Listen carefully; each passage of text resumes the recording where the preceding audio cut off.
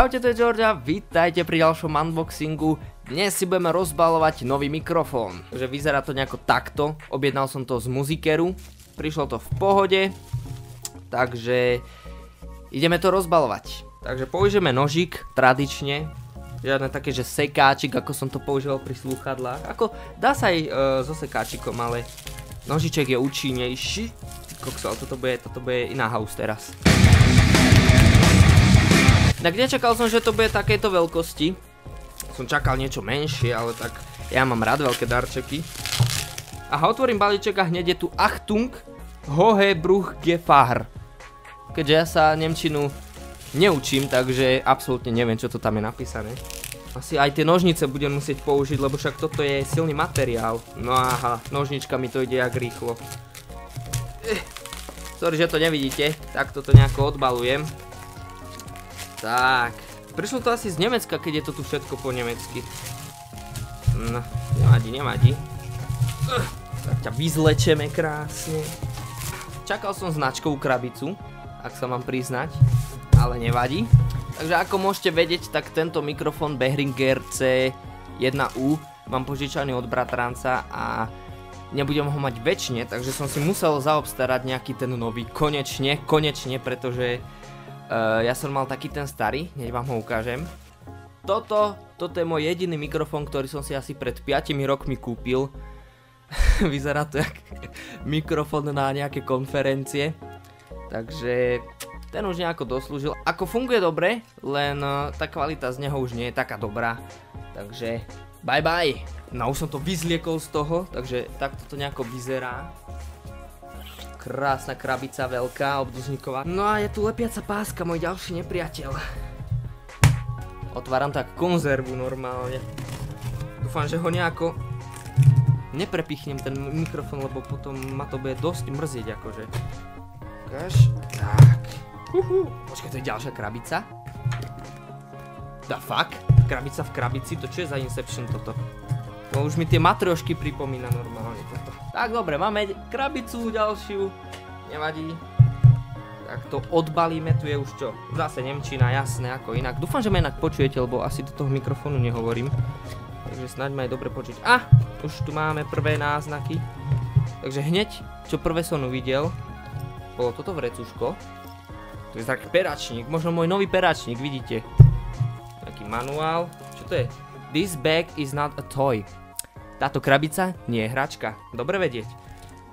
OK, to nepotrebujeme vedieť, takto nejako to vyzerá, už som to asi ukazoval. Na čo mi bude manuálik? Aha, tu máme nejakú krabicu. Zvláštnu, vyzerá jak nejaká henta zo Star Wars, nejaká tá raketa. Dobre, toto máme asi k mikrofóničku.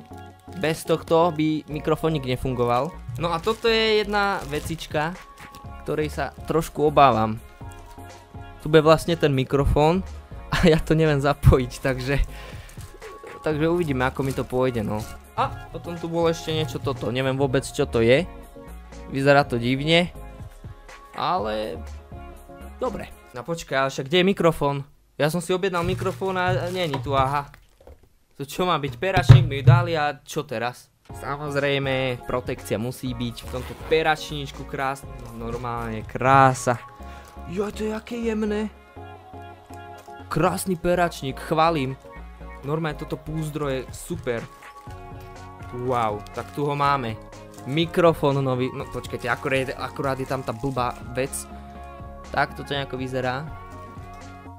V obale. Hello, hello, hej, hej. Wow, dobre sa mi drží v rukách, ale ja ho v rukách držať nebudem. Bude samozrejme na nejakom stojančeku alebo Uh, neviem, možno ho dám do pohára, lebo nemám stojanček. Tuto bol takýto stojanček. A je to celkom dobrá vec, takže to si možno niekedy dokúpim. Ale takto to vyzerá. Takto to vyzerá. Krásny mikrofónik. Uh, pokúsim sa spraviť aj nejaký ten test, no len neviem ako sa mi to podarí všetko zapojiť. Idem, idem skúsiť hentu vec sem primontovať. S dierkou na bok. To vyzerá dobre zvláštne. To je jak nejaká, nejaký satelit alebo čo. Aha, toto asi primontujem um, na nejaký stojan, ktorý nemám. Takže to mi teraz bude asi tak na dve veci a mikrofón dám takto sem. A ja neviem. Ja, ja to nebudem asi teraz robiť, ja som v, ta- v takýchto veciach noob. Takže to neviem. To mi bude asi aj tak na dve veci teraz, keď nemám stojan. Takže bohužiaľ bude to musieť do pohára, alebo skúsim niečo vymyslieť. Ale teda idem skúsiť spraviť ten test. Takže vidíme sa v teste. Dobre, toto je kvalita Behringeru C1U. Sám som zvedavý, ako bude znieť nový mikrofón, aký bude medzi týmito dvoma mikrofónmi rozdiel. Takže ideme na ten nový. Dobre, tak toto je kvalita mikrofónu nového. E, zatiaľ je toto len test, takže ja sa to budem snažiť nejako ponastavovať, ak to nejako zuní v pozadí, alebo ak ak počuť šum. Dobre, to by bol koniec tohto unboxingu, snad sa vám páčil. Ak sa vám páčil, tak e, zanechajte like. E, môžete napísať komentár, e, ak ste mali niektorý z týchto dvoch mikrofónov, že aké ste s ním mali skúsenosti a tak.